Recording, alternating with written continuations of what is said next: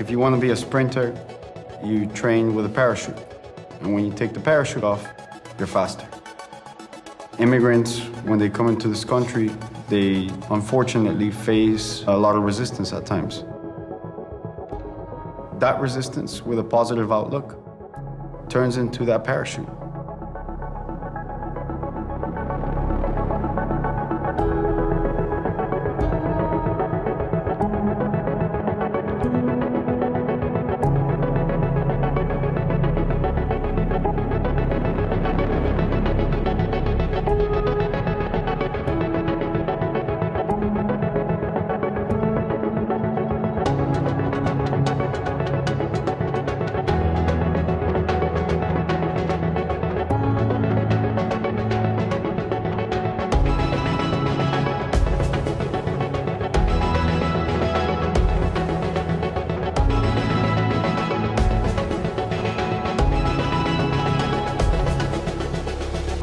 It's never over. The party? It's forever. Yeah, the party's forever.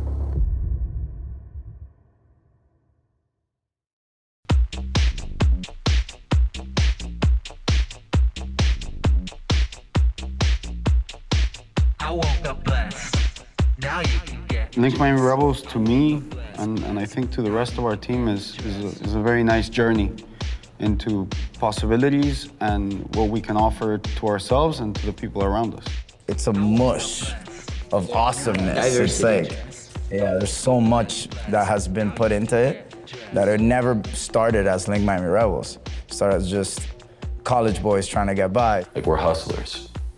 And we found each other and we found a really fucking amazing space. I think something very special about what we do is that we're very different people.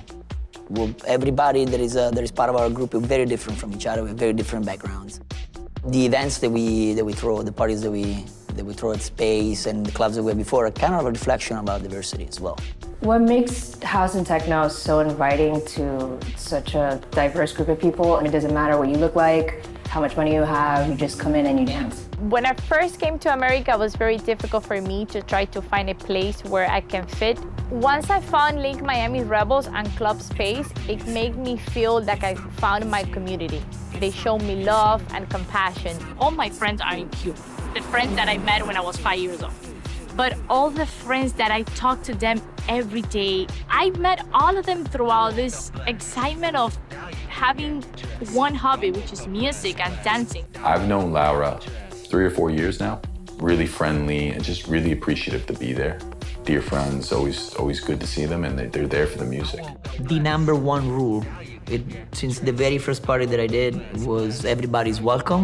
I think the difference between Space as opposed to any other club in Miami, there's no, hey, you can't get in because how you look, or hey, you can't get in because how you're dressed. We tend to have a door policy that everyone is welcome. Our crowd, I think it's like, there should be like the fourth one sitting here. They're just as important to what we do than us, for sure. And now that we're doing all, all sorts of different things in the club, like the yoga, another example that, that makes me really emotional is a young lady was saying that going to the weekly yoga class is, is a pillar for her because she's battling depression. It was the only person that I met that had the same vision that I had for Miami. It was always about making sure that Miami would become a mecca for electronic music, making sure that the underground culture in Miami would prevail.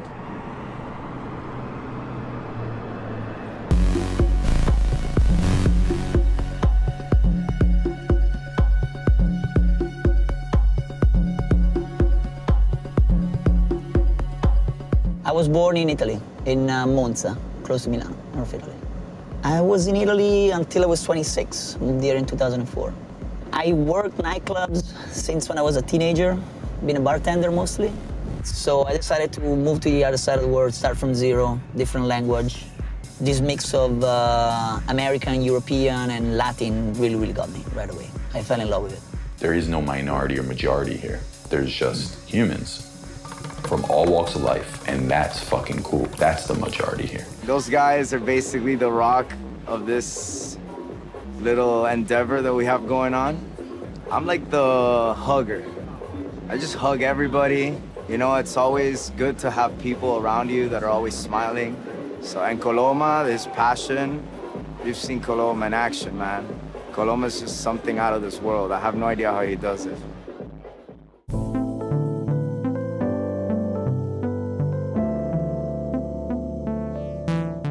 Yo le debo todo a este país y no fuera la persona que soy ahora si me hubiera quedado en Cuba. My way was paved many years before I moved here. My grandfather had to flee Dominican Republic due to the Trujillo dictatorship. So they went to seek asylum in New York. We are in the parking lot where um, I stayed with my parents. Since we didn't have anybody here, it was just tough to find a place. A part of me was like, damn it, but how the fuck am I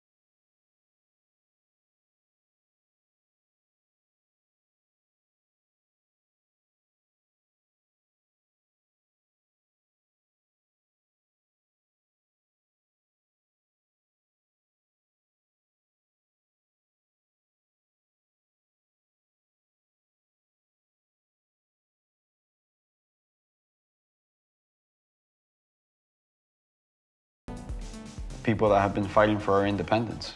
You know what? My parents, they left their parents for me.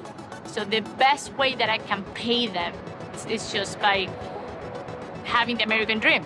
For me, particularly, the American dream was to survive. Whatever you want to do in this, this country, and if you want to go about it, you have the opportunity to do it. The American dream is whatever the fuck you want it to be. I very much love this country. I love everything it stands for. I've been a fan of, of this country's constitution from my childhood days. Uh, I've had grandparents that have always looked up and hoped for our home country to be more like the United States. We are all immigrants, and I'm talking about all Americans. We're all immigrants in one way or another. Citizenship is, is something that, that I would love to have. I honestly would like to be a citizen to be more involved. The emotion is like if you ask me, would you go fight for this country? Yes. Would you fight uh, for, for freedom?